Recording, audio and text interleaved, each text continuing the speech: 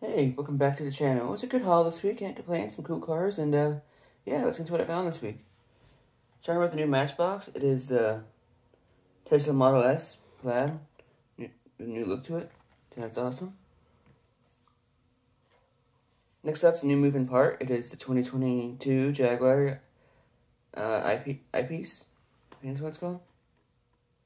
So that's a nice little jack there.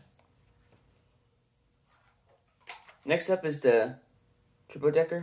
It's like a English bus, which is pretty awesome. That one was from last year. Next up is the Deora 2. Oh, it's cool casting. The next up is Deora 3. that's cool, but still pretty decent little casting. Next up is one of my favorite castings, and I collect this one, and it's a 55, 57 Chevy. Love the 57 Chevy. Always cool to get a new one to the collection. Next up's a car I always like as well. It's a uh, 90s Acura NSX in yellow. Always cool to get a new version of that car. Next up, brand new casting to my collection, and I'm really happy to get it. It is a 2023 Ram 1500 TRX. Awesome to finally get this added to the collection.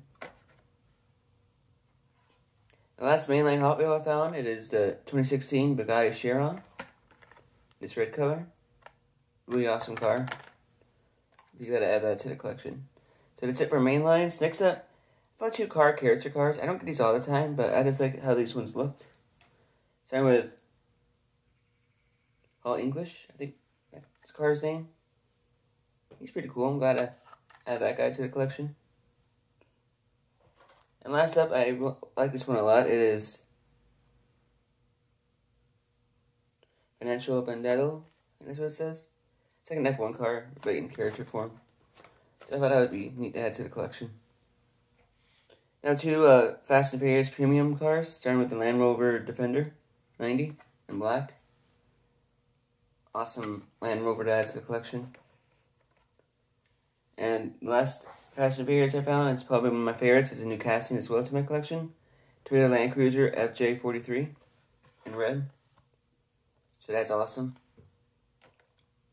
And the last thing I'm, the last two things I'm adding to collection are two new Gold Series I just got in the other day. It is Noah Gragson's Black Rifle co coffee car from this year. And then Salmon Salmon Gisbergen SVG's 97 WeatherTech car from Xfinity Series this year. So that's all I found this week. Decent little haul, can't complain, some good cars, and uh, yeah. Hope you guys like this video, and um, thanks again for supporting these videos as always. It's crazy, I'm over 200 videos now. And uh, yeah, if you guys want more videos like this, please like, subscribe, notification bell.